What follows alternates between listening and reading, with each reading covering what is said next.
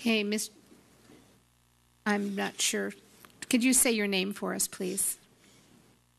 Uh, Xanthi Pajarillo. You. Um, um, hi, everyone. Uh, first, I want to thank um, you, know, Madam Mayor and the council members for your time. Um, I prepared a little statement. Um, I'm here on behalf of the Santa Clarita uh, foodie community, and um, uh, for, I was wondering, is there a Spanish translator available by any chance, just to not exclude the Hispanic community?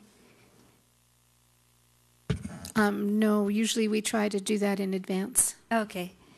Um, so I'll just get into it. In um, in 1982, um, a boneless uh, barbecue pork sandwich was introduced to the United States, and it was available for only a limited time during the fall, which is uh, called the McRib. But um, this year, McDonald's um, they decided to give regional managers the power to decide whether to sell the McRib at their locations.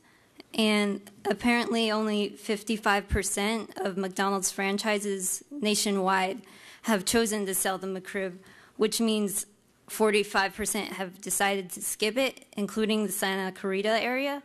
And there are um, 10 McDonald's here in Santa Clarita, and none of them are selling the McRib. And um, specifically, the McDonald's on Shakela Lane next to In N Out is not selling it, and it's been replaced by an all day breakfast, which I think is like a really poor substitute. And consumers have had to resort to the McRibLocator.com, which gives disappointing results if you use it because the nearest um, sandwich was seen in the Bay Area. And to be honest, like the removal of the McRib from the menu has affected my family because every Thanksgiving, my family would like order a 50 piece a chicken McNugget and like 10 McRibs. It was like like a tradition in our family. And now it's like, well, uh, like my family's holiday spirits kind of messed up and broken. So basically, what I'm trying to say is like, I come to you in this matter that I hope you, uh, members of the council, can help and speak to these um, McDonald's managers because I tried calling the hotline and they like don't take me seriously.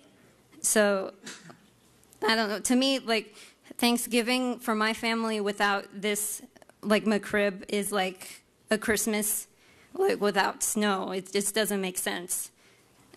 So um, thank you for your time and listening and happy Thanksgiving.